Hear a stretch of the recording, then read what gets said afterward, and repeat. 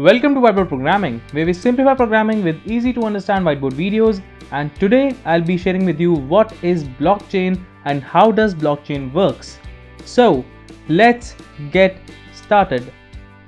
If you have been following banking, investing or cryptocurrency over the last few years, you might have heard of this buzzword called blockchain.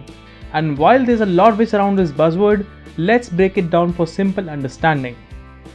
By concept, blockchain is based on peer-to-peer or P2P topology and is a distributed ledger technology or DLT that allows data to be stored globally on thousands of servers and that too while letting anyone on the network see everyone else's entries in almost real time, which makes it difficult for one user to gain complete control of the network, in turn making it highly secure as compared to any available technology and as anyone in the network can see each entry, by using blockchain we can achieve greater transparency as well. At its most basic level, blockchain is literally just a chain of blocks but not in the traditional sense of those words. When we say block and chain, in this context, we are actually talking about digital information that is block which is stored in a public database that is called chain.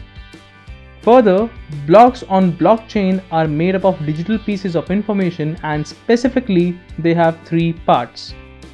First, they store information about the transactions like the date, time and amount transferred. Second, they store information about who is participating in transactions. For example, it will contain information for your purchase from Amazon on record with your name along with Amazon.com. But instead of using your actual names, your purchase is recorded without any identifying information. It is also referred to as digital signature and is sort of like a username to you. Third, they store information that distinguishes them from other blocks, much like the fact that you and I have names to distinguish us from one another. Each block stores a unique code called hash that allows us to tell it apart from every other block on the network. These hashes are nothing more than cryptographic codes created by special algorithms to help distinguish two blocks from one another. Also, do note that in this example of Amazon, we are storing just one entry, but in reality, a single block in blockchain can store 1 MB of data, and that's why, depending on the size of transaction, a single block can store a few thousand transactions under one roof. So by now you have understood that blockchain is based on transactions. But in reality, how does it actually works? Let me explain how. So whenever a block stores new data, it is added to the blockchain. Blockchain as its name suggests consists of multiple blocks strung together. And in order for a block to be added to the blockchain, however, these four things must happen. Number 1. A transaction must occur. Number 2. That transaction must be verified. Now, what does verified mean? Let's continue on our Amazon example. So, after making that purchase, your transaction must be verified with other public records of information like the Security Exchange Commission, Wikipedia or with a digital library.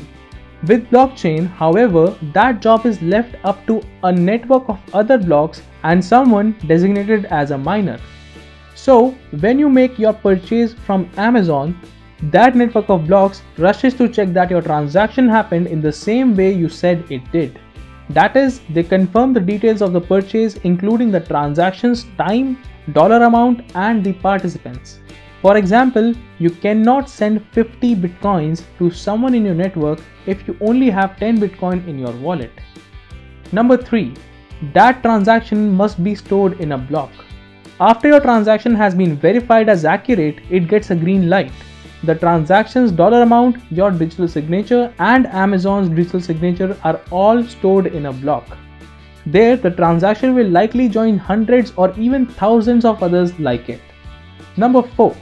That block must be given a hash. So, once all of the block's transaction has been verified, it must be assigned a unique identifying code called as a hash and once hashing is complete, the block can be added to the blockchain. It is this hash ID which differentiates the processed transaction from the others and even a small space can make a huge difference in its identification. So are you wondering how this process goes so seamless? The answer is because of miners. It's the role of a miner to validate new transactions and record them on the global ledger, that is the blockchain. On an average, a new block is mined every 10 minutes and for the job which miner does, they usually receive a reward. If we talk in terms of Bitcoin, it's 12.5 Bitcoin for one successful validation. I know what you're thinking about, 12.5 Bitcoin isn't much, but hey, if you convert it to US dollars, it's probably worth around $35,000 and yes, that's real money we are talking about. Moving on, whenever a new block is added to the blockchain, it becomes publicly available for anyone to view on the network. For example, you can have a look at Bitcoin's blockchain, link is there in the description below and after clicking the link you will see that you have access to transactional data along with the information about when that is the time, where that is the height and by whom that is relayed by of every block that was added to the blockchain. Further, currently blockchain is being employed in various industries which include banking, voting, healthcare, IoT systems and much more. And the future seems to be more secure with it. With that, I hope this video was helpful to you and served value. If you love my content, be sure to smash that like button and if you haven't already subscribed to the channel, please do as it keeps me motivated and helps me create more content like this for you.